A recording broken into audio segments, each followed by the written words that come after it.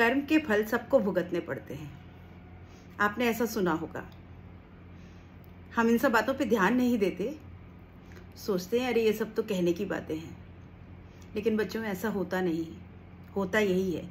जो हम करते हैं, वो हमारे सामने ज़रूर आता है। आज, कल, परसों, नरसों, आएगा ज़रूर। क्योंकि इस कर्म के फल से भगवान भी नहीं बच सके। एक छोटी सी कहानी सुनाती हूँ बच्चों। वासुदेव देवकी का नाम आपने सुना होगा, जिन्होंने कृष्ण को जन्म दिया। उनको कंस ने चौदह साल जेल में वन रखा था, देवकी और वासुदेव को। वहीं पर कंस, कृष्ण का जन्म हुआ, क्योंकि उसको अभिशाप था कि वो उनका आठवां पुत्र जो है, वो उसका वध करेगा तो उसने उसको जेल में बंद कर दिया। और सारे पुत्रों को, उसके जितनी भी कन्या हुई या जो भी उनके बच्चे हुए, उसको उसने मार दिया। उस समय जब कृष्ण हुए तो वासुदेव बहुत मुश्किलों से जेल से उनको लेकर के वहाँ से निकल गए और नंद गाँव में नंद बाबा के यहाँ उनको छोड़ाए और फिर यशोदा माँ ने कृष्ण को पाला। ये कहानी आपने सुनी होगी।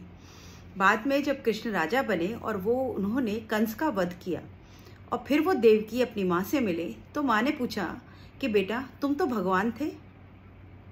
तुम तो सब कुछ कर सकते थे। तो तुमने मुझे पहले क्यों नहीं छुड़ाया? चौदह वर्ष मैं यहाँ जेल में रही। तो कृष्ण ने कहा, माँ, ये तो कर्म के फल हैं। मैं क्या करता? आपने पिछले जन्म में चौदह वर्ष का मुझे वनवास दिया था। आप कई थी और मैं राम। तो आपको इस समय में, आपको इस जीवन में वो चौदह वर्ष पूरे करने पड़े। तो बोली, और तुम यशोदा के पास रहे वो?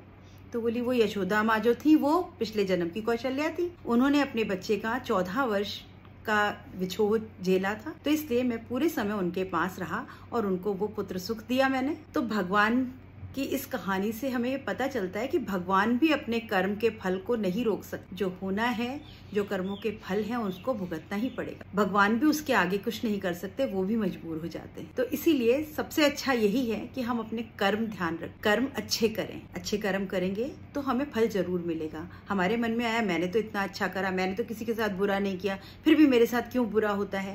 लेकिन बच्चों, ऐसा नहीं है। आज कुछ बुरा हो रहा है, वो हमारे हो सकता है पहले किसी कर्म का फल हो।